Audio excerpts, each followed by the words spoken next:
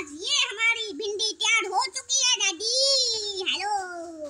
तो ये डैडी हो चुकी है हमारी मज़ेदार सी प्यार अच्छी अच्छी खुशबू वाली भिंडी।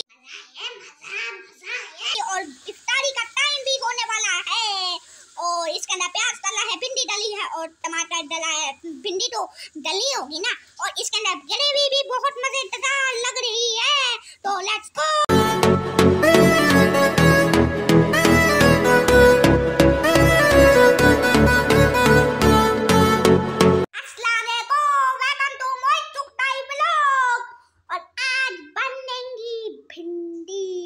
भिंडी बनेंगी आज और आज हम उसको ये करेंगे फिर से।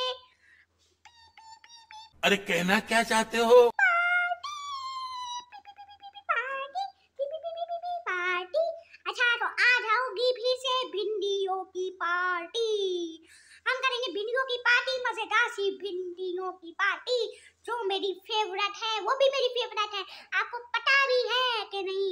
हाँ नहीं तो हाँ। और सबसे पहले आप वीडियो पे आए तो लाइक कर दीजिए शेयर कर दीजिए और कमेंट कर दीजिए और चैनल को सब्सक्राइब कर दीजिए। तो लेट्स गो 10 minutes later. ये हमारी मज़ेदार सी भिंडी यहाँ पे तैयार हो रही है और आधे से ज़्यादा तो हो ही चुकी है। हाँ नहीं तो हाँ और इसके अंदर प्याज डाला है भिंडी डाले हैं प्याज और टमाटर भी तला है। करो भाई बस कर दो बस कर दो बस मैंने लिया। बहुत आसानी से बताया है मैंने। A few minutes later. तो व्यूअर्स, इफ्तारी का टाइम बस होने ही वाला है और हमारी भिंडियाँ भी बस रेडी होने वाली हैं।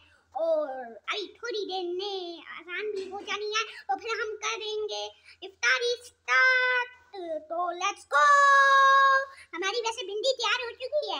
मैंने कितनी आसानी से बताया, ये प्याज है, ये भिंडी है और ये टमाटर है। Later.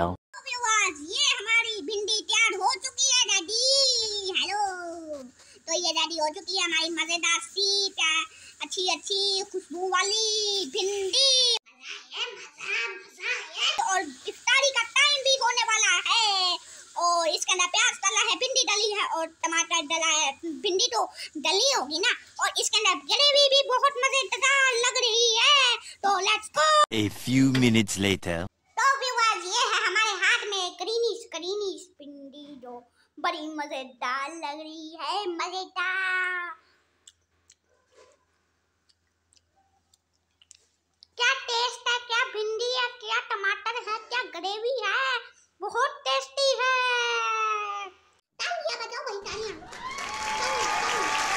हम्म, क्या टेस्ट है ऐसी भिंडी आपको रेस्टोरेंट में भी नहीं मिलेगी व्यूअर्स 10 minutes later. तो व्यूअर्स हमने इफ्तारी वगैरह कर ली थी बड़े मज़े का खाना था so tasty so tasty so beautiful खाना था। भिंडी भी मज़ेदार थी और खाना बड़ा मज़ेदार था आपको बता नहीं सकता, ऐसा खाना तो रेस्टोरेंट पे भी नहीं मिलेगा व्यूअर्स और अब हम इस वीडियो को करने लगे हैं। अगर आप इस वीडियो पर आए हैं तो लाइक कर दीजिए